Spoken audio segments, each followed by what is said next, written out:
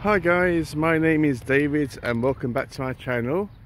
As you can tell, um, this is going to be a different video or a different type of video for me to do. I was inspired by channels like Bad is Rad 2 who goes out on location sometimes and Faceless Book Reviews who, um, you know, this is all he does. He walks around, doesn't show his face and um, talks while he walks I didn't mean to rhyme them, but um, they, but there you go.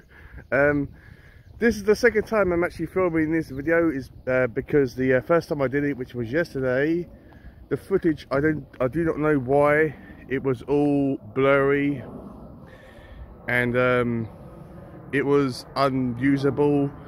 So I had to delete all the footage and basically start again. And it's funny that at this specific point um, in the video there was an, there was a plane going up um, overhead. So hopefully that's not much of a distraction. Anyway the reason why I'm in a cemetery today is because the book that I'm going to be talking about has something to do or is a big part of death and it's also got a big scene in the cemetery as well. That book in question is called Printer's Devil Court by Susan Hill.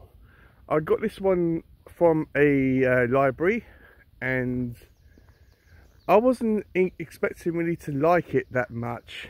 Obviously I knew who Susan Hill uh, is or was um, by her most famous book called The Woman in Black which I did start to read. I don't think I give it much of a fair chance. I probably will go back to that one at some point. But I have recently uh, joined the, the, um, the uh, library um, and I was looking on the horror shelf and I came across this book.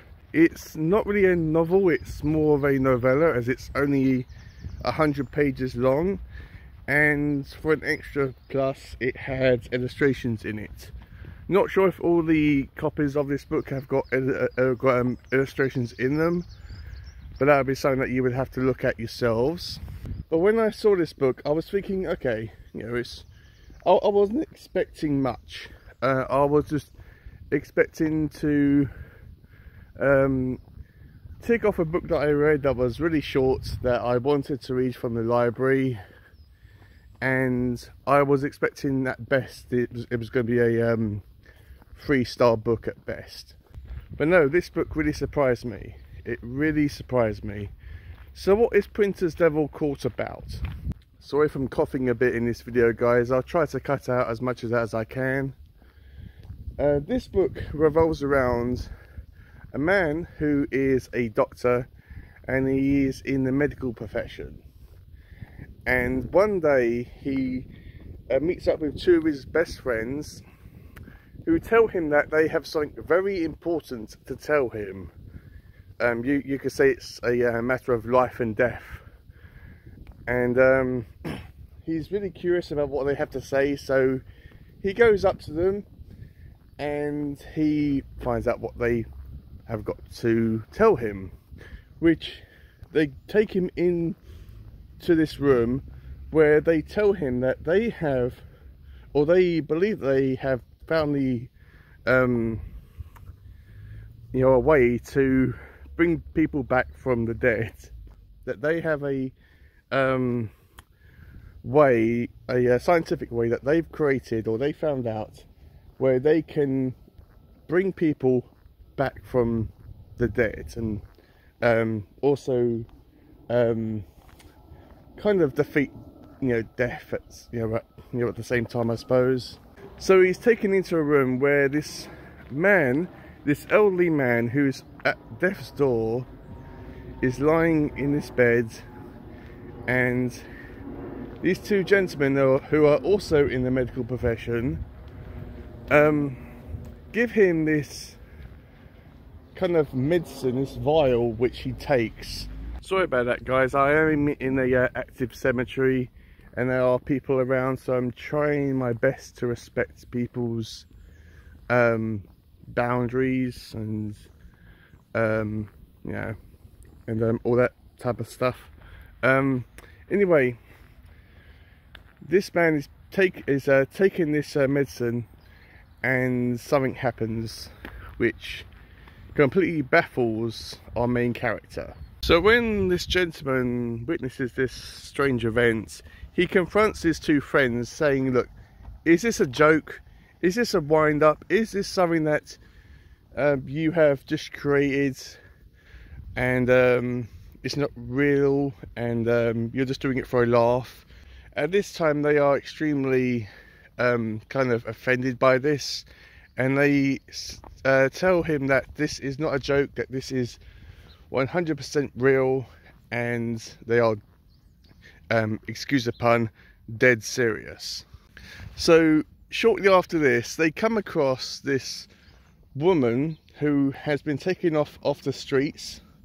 I'm pretty sure this is set in London and uh, it's not in, I, I, don't think it's really mentioned but it, uh, I think that this woman might be a street worker, you know, like a prostitute. And um, stuff going on down here, guys. So I don't think I'll be able to come down here without filming and um, invading people's privacy.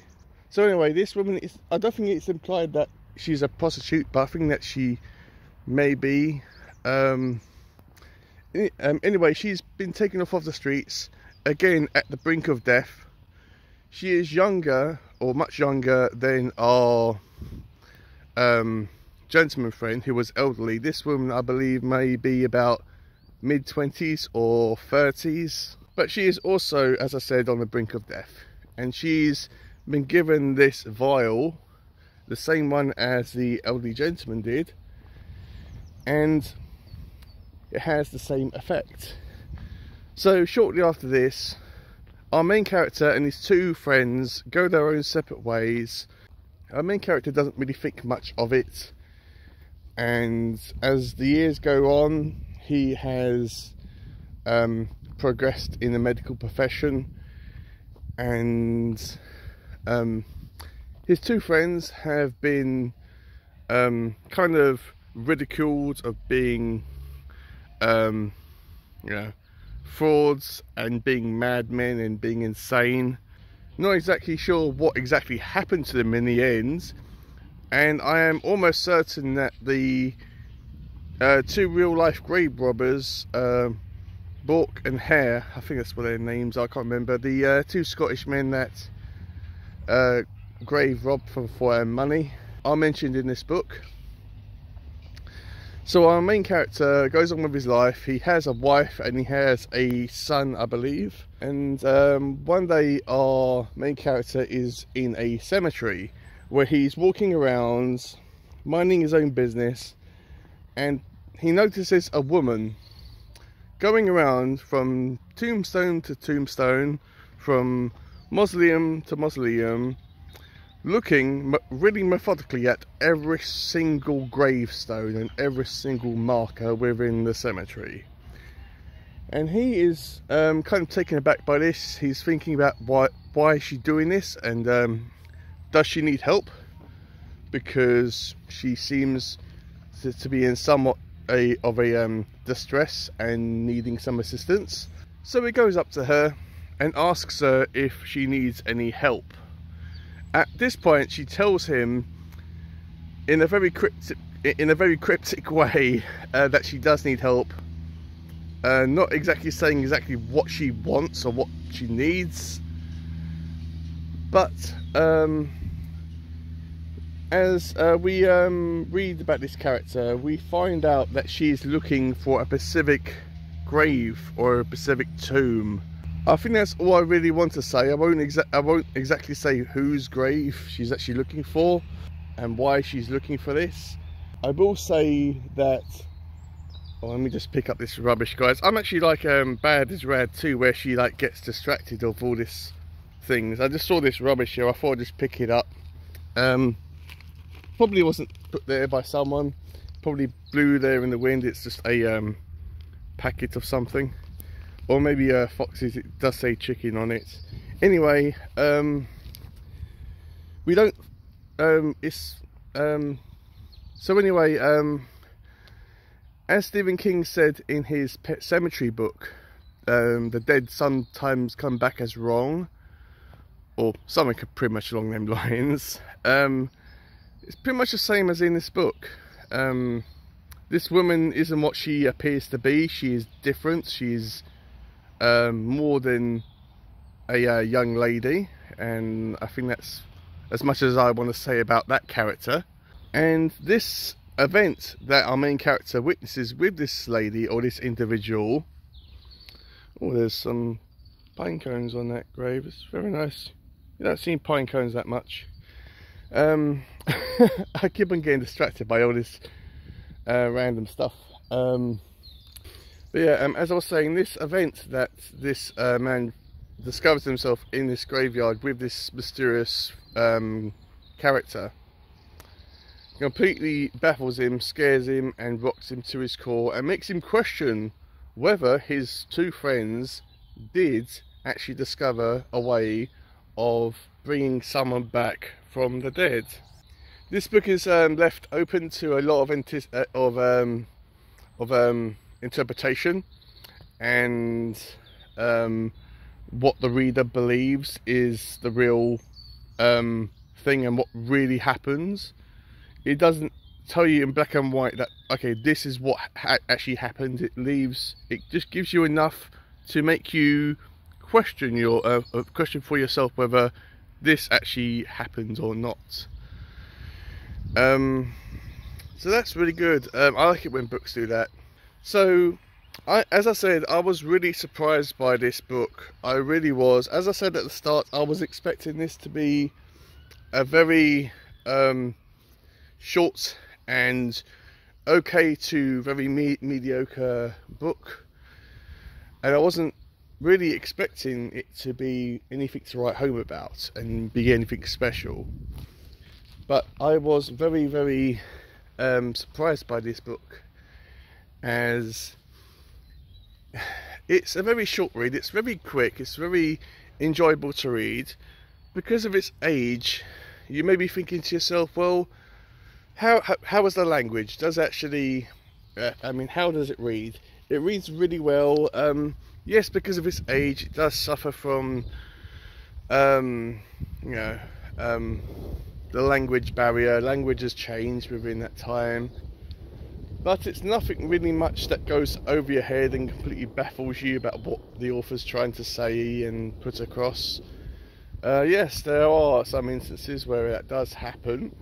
Um, but when it does happen, you're uh, you can really kind of connect the dots and try to um, understand for yourself about what the author was actually talking about.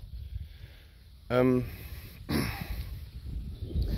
and if you are, um, I mean, if you've read books like Frankenstein, for example, then uh, I would highly recommend that book, um, especially if you liked it I would definitely recommend that you read this book, especially if you're interested in the subject of resurrection and um, characters bringing people back from the dead.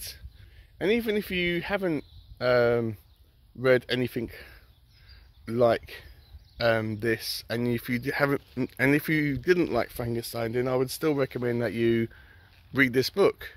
I mean, it's not, um, it's not really going to be in my um, top 10 of books that I've read this year. But at best it's going to be a very high um, honourable mention. So that's it. Um, I think that's all I want to say without going into spoilers because you can really kind of like spoil this book if you like talk about it um, too much. Um, let me know if you have read this book. Let me know what did you think about it. Um, did you like it? Did you not like it? Let me know if you have any more recommendations that you've read by Susan Hill that you think that I should read next or that you think that I would enjoy. And um, I mean, apart from obviously um, the uh, obvious one, which is uh, the woman in black, and um, yeah, um, I mean, I was surprised by this book. I really was. I enjoyed it, um, and it was a um, somewhat pleasure to read and the illustrations really made it that much I mean that much more pleasurable and enjoyable to read so I think that's all I had to say guys um, I didn't really want to say too much and I didn't really want to say too little. It's it's kind of a um, like a tricky thing doing book reviews um, to know how much um, you need to say. But I think I've said enough. Um, I will say that I am um, intrigued to read more from Susan Hill. I'm not in a mad rush to do so. This book has intrigued me to read more from this author, but it hasn't made me think, oh my, I need to read more from this author right now. I mean, I know that my um, library has loads of other books um, from Susan Hill. So um, I've got plenty, plenty, plenty to choose from. Probably the next one I'll read is, I mean, I've probably got to like read The Woman in Black. This is probably a most well-known book. But I mean, no massive rush to do so. I've got loads of other stuff I've got to read. Um, but yeah, when the time's right, I will pick up and give it a read. Yeah, I mean, as I said, let me know if you've read Printer's Devil Court. What did you think about it? And uh, also, before I go, I just want to say that you may be thinking to yourself, well, what, uh, does um, Printer's Devil Court mean anything within the book? Yes, it's a specific location that the characters go in. And uh, you may be thinking to yourself, well, because it's got the word devil in the title, let me just put this in the rubbish, or in the bin rather. Uh, does this book mention or um, you know, bring up the devil or Satan? Um, if it did, it was very, very uh, subtle and I didn't notice it. But no, the uh, devil isn't isn't a um, big part or if any parts within this book. But yeah, I thought I'd, yeah, I thought I would come to the cemetery, my friends, because um, oh, you know, my friends, uh, that's what Bad is Rad 2 always uh, says in the videos. Yeah, I thought I would come to the cemetery today because um, of the subject of this book. I wasn't um, doing this for a laugh or anything like that because I know I can be uh, unintentionally humorous. Uh, know, I wasn't doing this for a um, laugh or anything like that.